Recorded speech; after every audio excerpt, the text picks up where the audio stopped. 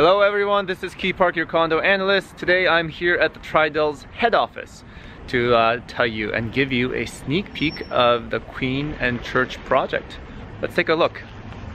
One of my favorite things about uh, has to be their presentation center uh, and also used as a decor center uh, located at 4800 Dufferin Street. This is just the state-of-the-art interior selection model suite and I absolutely love it. Let me give you a little quick tour around so you know what you're getting into when you purchase a Tridel product.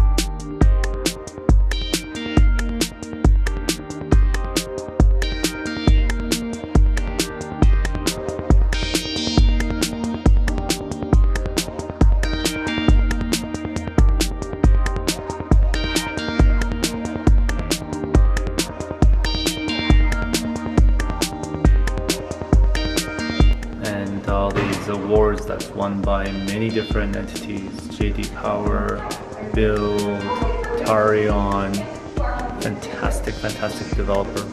More awards here.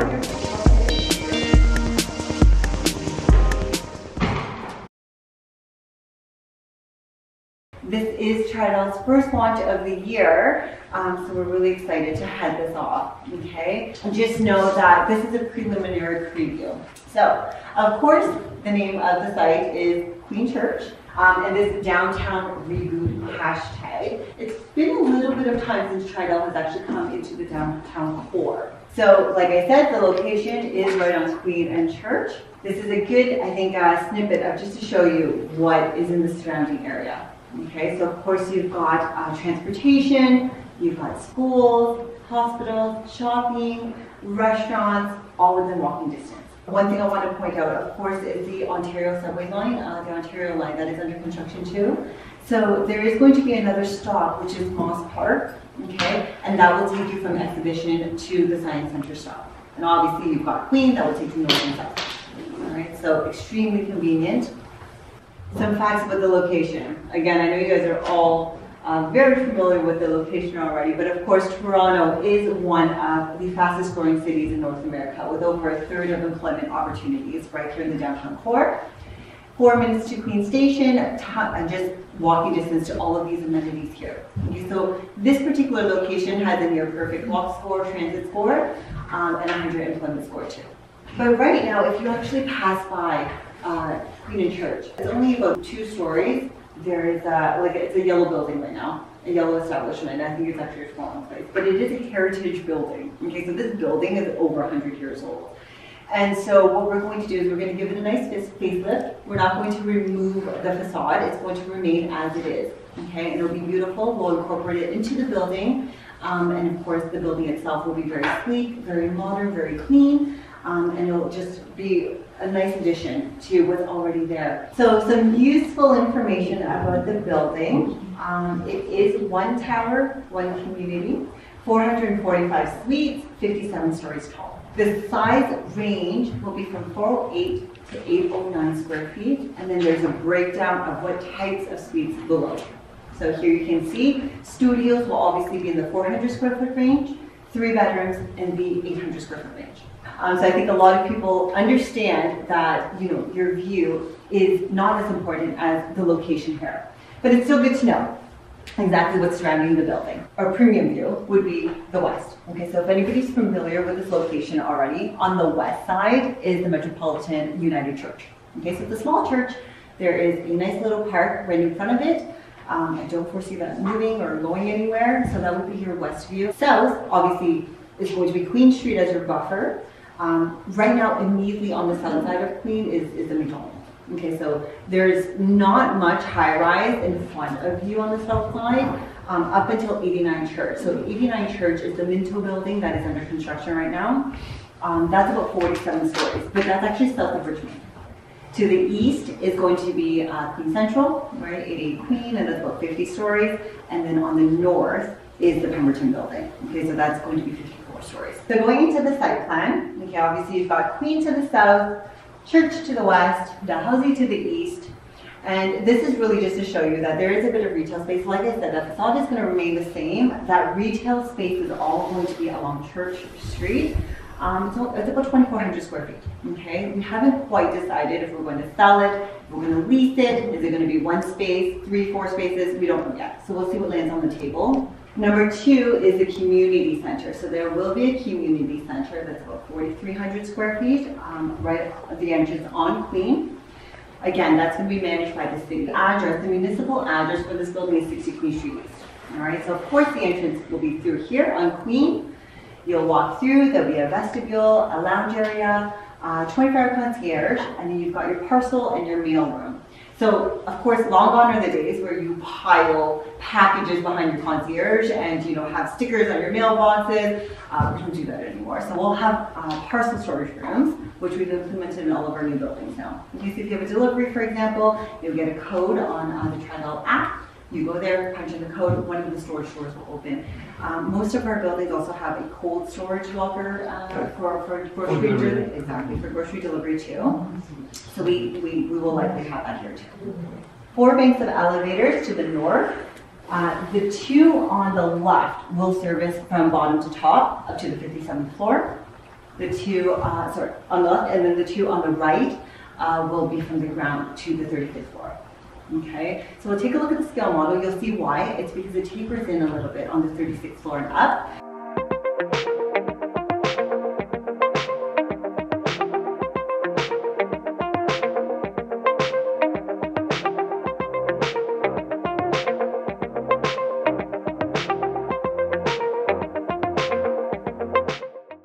Uh, so these two elevators disappear and then the floor plate changes a little.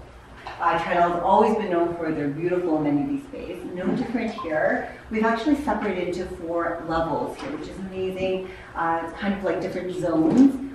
So you've got the fourth floor, which will be uh, the fitness area. So you've got a gym, of course, yoga, and then you have outdoor spaces too.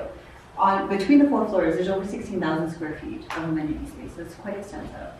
One floor up is kind of your extension of your home office. Okay, of course, we do foresee even into the future, a lot of people will still be working from home. So here you'll have some extra space. There'll be some meeting rooms to use, uh, co-work lounges, and then we have this new digital content studio for those who have podcasts and TikToks and YouTube videos that they have to create. You got it. So we are looking into the future. I know this is the, the trend now. So we've made a space for that too to accommodate. One more floor up is going to be your entertainment. All right, so you've got your party room, there's a dining room, theater, games, gaming room, and then on the terrace floor will be barbecue space, lounge spaces, and then a pet run okay, for your furry friends. There's going to be a staircase here. It's a really nice feature. I know these are the smaller details that we always think about. Yes, there are four elevators that service up and down. Um, however, You'll see here on the south side of the amenities, there'll be a beautiful staircase that will let you access the amenity spaces. So if you're, exactly, so you're not waiting for the elevator just to go up one floor. Um, so here you can do that. I just want to also point out, so obviously the amenities are on the north side. You see these drayed out spaces. These are going to be. Key plates. So I am going to send you guys a link, like I said, of the fact book. This will not be there. You can see here, it, it goes from a studio to a one plus den, and then there's two bedrooms and three bedrooms. So this is your typical floor plate from the 8th floor to the 35th floor. On average, about 410 square feet.